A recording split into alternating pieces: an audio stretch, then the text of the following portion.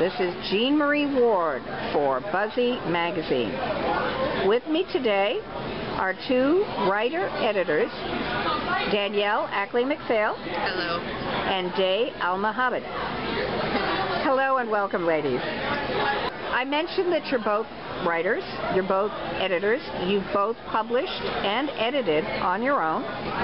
What prompted you to collaborate on the new book, Baba Ali and the Clockwork Djinn? Um, I'm actually working on an anthology that is going to come out probably sometime later this year. And it is called Gaslight and Grim, Steampunk Fairy Tales. And when I put it together, I wanted it to be more than just the traditional Grimm's tales. I wanted to explore some of the other traditions.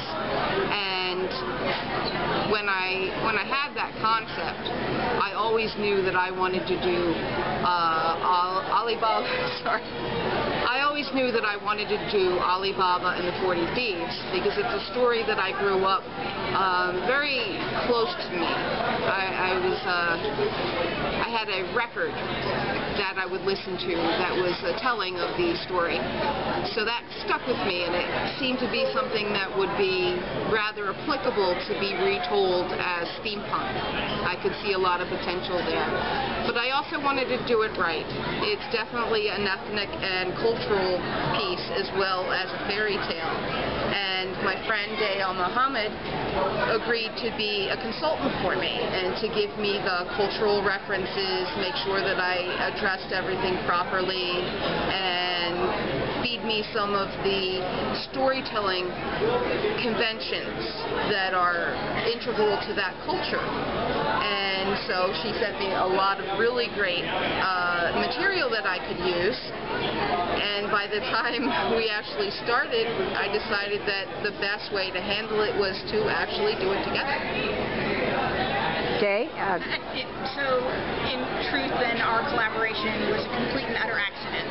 mhm. Um, and, and I think what a lot of people know is I am very enthusiastic because I'm an evangelist for the idea of having more diversity in steampunk. So there's a whole wide world, and it would be great to see a part of that. And I think there are a lot of diverse folks in fandom. There are diverse folks um, uh, who want to see themselves in stories. And so when Dan said, "Can you provide me some information?" She was being very gentle. I sent her pages of stuff that I, I'm like, "Here, this is important. Make sure you get this right." And and I think the nice thing is wanted to make sure that we did capture that kind of an aesthetic. And, and I think the result was the collaboration. And I think in the end it ended up being really good uh, for both of us as far as writers, but also good I think for people who are readers. We actually ended up using most of the material that she provided me in one way or another. Cool. Can you give our viewers an example of something that would not necessarily be thought of, but would be very important in the context of the Arabian Nights to get right? A storytelling. Well, as far as the culture, one of the things that Day made very uh, clear to me is that hospitality is very, very important. Sharing food, sharing tea, um, ceremony surrounding that, and, and the politeness, the, the terms and the phrases that go along with those, and, and how even in the storytelling traditions, the, the conventional framing aspects of storytelling even integrate that. And actually, an easy example would be we're all very familiar with the idea of once upon a time. Yes. I mean, it's, it's a tradition left over from oral storytelling that we're familiar from the Western world.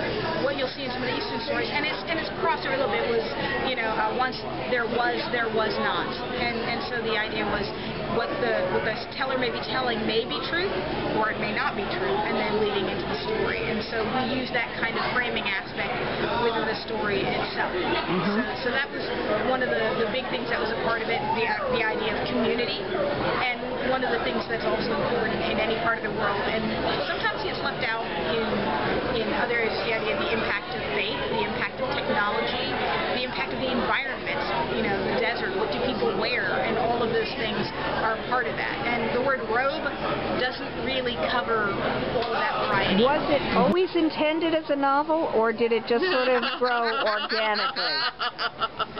well, the story, uh, Baba Ali and the Clockwork Djinn, um, we we had to truncate an awful lot to actually make it just a story. Mhm. And even then, it ended up being 17,000 words. Mhm. And when we told the publisher that it was 17,000 words, he said, No, it's not a story. It's a book. Go finish it. Uh, he was expecting a novella and that it would be, oh, maybe 35,000 words. And I think we topped off at about 82,000 words and probably could have written a good 30,000 more. Mhm. Right. Well, I think most people, when they think about the Arabian Nights, I think what's happened, and if you think about it, it's only maybe in the last 10 years we've actually had a straight translation to English. It's usually gone to French or other languages before. So, and most people are familiar with it from children's stories, so they're reading something a lot shorter. Truncated. Right, and so when we get that, when you start looking at older material, it is actually a lot longer. And, and not just that, if you look at the traditional tales, they were all told. And they were oral traditions for the most part. And so their storytelling is very different than our fiction writing today, where we're told to show, not tell. And so very, uh, a very great amount of detail is in a short legend. But when you actually try and, ex- and, and retell that, it's massive. There are so many things that are happening. They just did it differently. Why do you call it Baba Ali instead of Ali Baba? Well, if you look at the original, uh, well, the translations, I should say, Mhm. in the story, there are many characters. Some of them are um, background characters. And almost all of the background characters were called Baba, whatever their name was. Because it's an honorific, it's a title. It can also be a name, but in, in every other instance in the book, Baba came 1st And so we didn't want to do the switching off because people wouldn't necessarily understand it. It would look sloppy on our part. Mm-hmm. And also because we wanted to distinguish it from the original. Though that's where the root of the story came from, we very much made it our own. Mm-hmm. And, and we wanted it to stand out that way. What has been the easiest, the hardest, and the most surprising aspects of collaborating with another writer? Day? So the easiest was probably the the um, I guess the fact that word count seemed to flow past really quickly, and I think that's more a personal thing in that I tend to be a slow writer. So for me, I'm like, wow, this is this is working really well. I'm like, holy, we're actually moving along quickly. Um, so was it the easiest? Was it the hardest? The hardest would be learning to let go of certain pieces of the story, and I, I think that's what we both struggled with a little bit. Yeah. Um, I think I have an advantage insofar that I've done some comic book work and film work before, which is, has a lot of collaboration in it, and I've learned to let go. But it's still one of things like, why is she doing this? This doesn't make sense. but then we would talk about it and it would make sense. Or we'd we would understand why not. Right, and then we'd find ways to make it work. Uh, I'm sure there are times on the other end, Danny's like, no, she's wrong, wrong, wrong. And uh, I think that was probably one of the hardest things. I think that's true of any collaboration. So, and I think it's just finding ways to figure out what each person's strengths are and being able to leverage that for the betterment of the Yeah. story. I, I definitely had some very distinct ideas of what I wanted to do and where I wanted to go. And we're setting up things that she couldn't anticipate. And so she would do something uh, that would totally throw a wrench into that. And, and on occasion, I did say, no, we're not doing this. Mhm. And this is why. I have, a lovely example. It's one of my favorite examples, and I use it everywhere. Um, and it wasn't part of the original tale, but it would be, I thought, a great derivative from it. So since our, our character's trying to, to deal with the 40 thieves and and and the and the djinn, I said my goal. I thought, wouldn't it be fantastic to chop her up in 40 pieces and have each piece go to a different thief, and then he has to get all 40 pieces back. Um, yeah, Danny No. said no. Because I'm like, I'm, I don't think it would have been one novel. I think we've been looking at maybe not 40 novels, but, but certainly at least a good number. So, but doesn't it sound like an awesome? well, like actually, a I've heard of terrific idea? A Japanese uh, movie that did that. Oh, a guy wow. has to put together the 40 pieces of his body. He's a demon until he does. See, and this and this guy's trying to find the 40 pieces of his See, love. it's done already. See, so it's still down. Thank you. Thank you. One day in our collaboration, I will get to chop someone up into multiple pieces. Yeah. This is a goal of Well, yours? we, we, we already dropped up Kasim into four. That's part of the original tale. So, anyway. Okay. So my my easiest part was the fact that we both had so much enthusiasm for the project, and we were able to bounce ideas off of each other, and it would spark other ideas.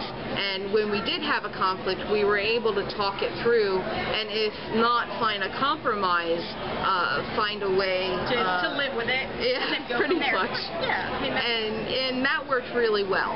Um, the difficult part for me is that I do definitely have those control issues, and there are times when um, I, I knew that I needed to give her the freedom to express herself and to direct things as well. And so there's times that I definitely I said no no no I don't like this, but okay fine I'll go with it. and and it really it did work out for the best. Everything um, that we ended up with really it dovetailed nicely, and it was a good progression. And um, I, I don't think we could have really done any better. no, and I think if you want to talk about the last, which was what was most surprising, was the fact that the See if it's the same. maybe I don't know, but I think it was more that that hot potato method, and I love that. It's the hot, pota- hot potato method of writing, of the back and forth like that, and the bouncing of the ideas actually made this work faster, smoother. Um, I think the writing was more strong. I think at the end of the day, we have some some relatively unique ideas that showed up in the story that Definitely. would not have been there any other way. Now, my most surprising part is the fact of how many times we would each have the same or similar idea to do something and then proceed with developing it. That did show up actually quite yeah, a bit. yeah. So we, we were in sync. What are y'all working on now? First, I want to reassure all those people that have already grown to love Baba Ali that there will be more books. What? What? More work? No! Shake, your fist! Which was my exact response when uh, when it was suggested. when it became a book. yeah, I'm like, what? No, I cannot do this.